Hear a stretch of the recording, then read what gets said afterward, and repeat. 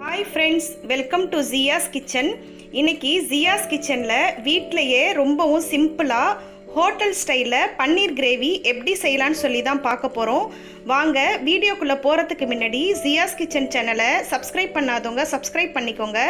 Like பண்ணுங்கள் share பண்ணுங்கள் comment பண்ணுங்கள் பன்னீர் கிரேவி செய்கிறதுக்கு இப்போ வந்து அடுப்பில் வந்து ஒரு பாத்திரம் வச்சுக்கிட்டேன். அதில் வந்து கொஞ்சமாக எண்ணெய் ஊற்றிக்கலாம்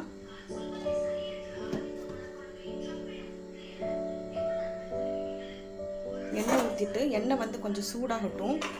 சூடானதும் நான் வந்து குட்டி குட்டியாக பன்னீர் வந்து கட் பண்ணி வச்சுருக்கேன். அந்த பன்னீரை சிம்லே போட்டு வறுத்து எடுத்துக்கலாம். அந்த மாதிரி சின்ன சின்னதாக சின்ன சின்ன பீசஸாக நான் கட் பண்ணி வச்சுருக்கேன்.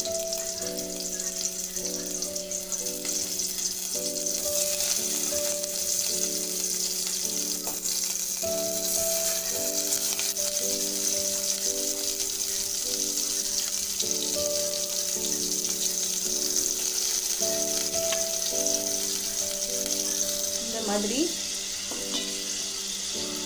சிம்மில் வச்சு லைட்டாக வறுத்து இறக்கிக்கும் அடுப்பில் ஒரு கடாய் வச்சுக்கலாம்.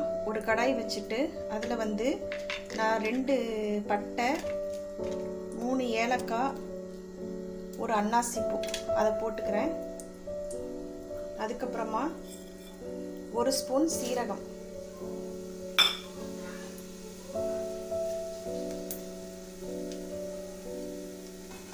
பொரியட்டும் ஸ்டவ்வை வந்து சிம்மில் வச்சுக்கோங்க. சிம்மில் வச்சுட்டு இப்போ நான் ஒரு வெங்காயம் பெரிய சைஸ் வெங்காயத்தை வந்து நல்ல மிக்சி ஜாரில் போட்டு அடித்து எடுத்து வச்சுருக்கேன். அதை வந்து இதில் போட்டுக்கலாம். நல்லா வதக்கி விட்டுக்கலாம்.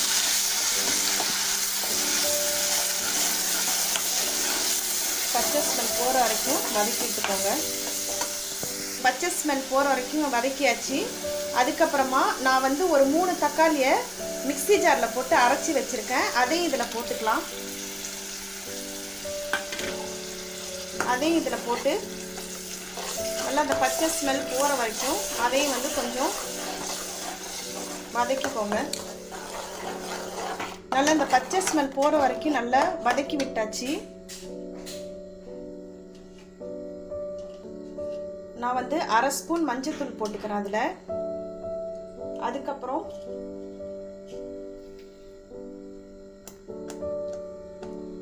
கரம் மசாலா ஒரு அரை ஸ்பூன்.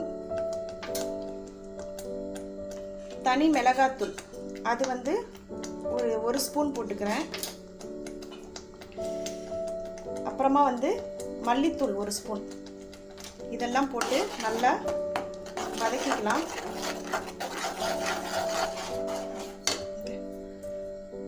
வதக்கிட்டு தேவையான அளவு உப்பு போட்டுக்கலாம். உப்பு போட்டுட்டு நான் வந்து கொஞ்சோண்டு தயிர் இதில் ஆட் பண்ணிக்கிறேன். கொஞ்சம் புளிப்பு தன்மைக்கு நீங்கள் வந்து தயிர் இல்லைன்னாலும் எலுமிச்சம்பழம் ஆட் பண்ணிக்கலாம். அதையும் போட்டுட்டு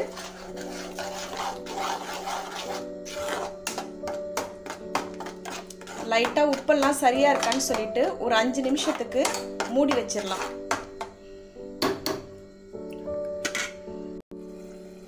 இப்போ வந்து பார்த்தீங்கன்னா ஃபைவ் மினிட்ஸ் ஆயிடுச்சு. ஓப்பன் பண்ணி பார்த்துக்கலாம். இப்போ பாருங்கள் பன்னீர் கிரேவி வந்து ரெடி ஆயிடுச்சு. இதில் வந்து உங்களுக்கு தேவை இருந்தால் கொஞ்சம் வந்து ஸ்வீட் வேணும். கொஞ்சம் தித்திப்பு ஸ்வீட் இருந்தால் நல்லாயிருக்கும் அப்படின்னு நினச்சிங்கன்னா கொஞ்சமாக ஒரு அரை டீஸ்பூன் வந்து நான் வந்து சர்க்கரை போட்டுக்கிறேன் அதில். அப்புறமா ஒரே ஒரு பச்சை மிளகாய் சின்ன சின்னதாக கட் பண்ணி போட்டுக்கலாம். உங்களுக்கு வேணும்னா நான் அந்த ஃப்ளேவருக்காக ஃப்ளேவர் அந்த பச்சை மிளகாவோட ஸ்மெல் நல்லா இருக்குங்கிறதுக்காக நான் அது வந்து ஃப்ளேவருக்காக நான் போட்டுக்கிறேன். அதுக்கப்புறமா நான் வந்து கொஞ்சோண்டு புதினாவும் கொத்தமல்லியும் கட் பண்ணி வச்சுருக்கேன். அதையும் அதில் போட்டுக்கலாம். புதினா வேணும்னா அது ஆப்ஷனல் தான் உங்களுக்கு. இப்போ பன்னீர் நம்ம வறுத்து வச்சோம் இல்லையா? அந்த பன்னீரை வந்து அதில் போட்டுக்கலாம். போட்டுட்டு அப்படியே லைட்டாக கிளறி விட்டுக்கோங்க. கிளறி விட்டுட்டு ஒரு ஃபைவ் மினிட்ஸ் மூடிக்கலாம். பன்னீர் கிரேவி வந்து ரெடி ஆகிடும் இது வந்து பார்த்திங்கன்னா சப்பாத்தி பரோட்டா அதுக்கெல்லாம் வந்து இது வந்து ரொம்பவே சூப்பராக இருக்கும். ஹோட்டல் ஸ்டைலில் இருக்கும் இந்த பன்னீர் கிரேவி. நீங்களும் இதே போல் பன்னீர் கிரேவி செஞ்சு பார்த்துட்டு ஜியாஸ் கிச்சன் சேனலை லைக் பண்ணுங்கள் ஷேர் பண்ணுங்கள் கமெண்ட் பண்ணுங்கள் சப்ஸ்கிரைப் பண்ணுங்கள்